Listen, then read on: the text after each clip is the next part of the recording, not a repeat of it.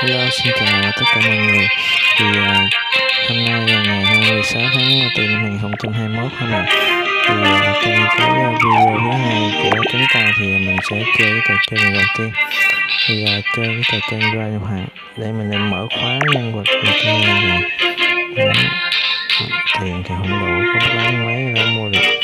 Thôi giờ chọn nhân vật cũ hay ít giá uh, nâng cấp cho sức mạnh chút đây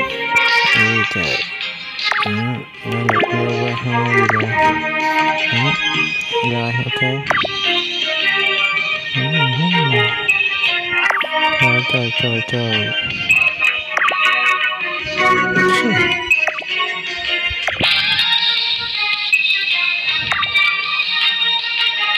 ừ.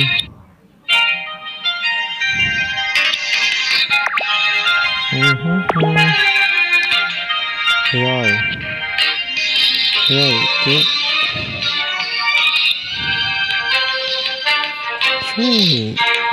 thì bây giờ ta sẽ là cái à, trận đấu.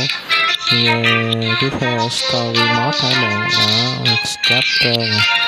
Rất là nhiều các bạn chapter mất luôn trời trời trời trời trời. Người ta mất tiêu cho nhỉ? Hmm. rất là loạn là chapter này đây. Cái này hả? Yeah. xỉu nó luôn. Nhiều quá. Yeah. rồi, cầm kiếm ra chém. Ok.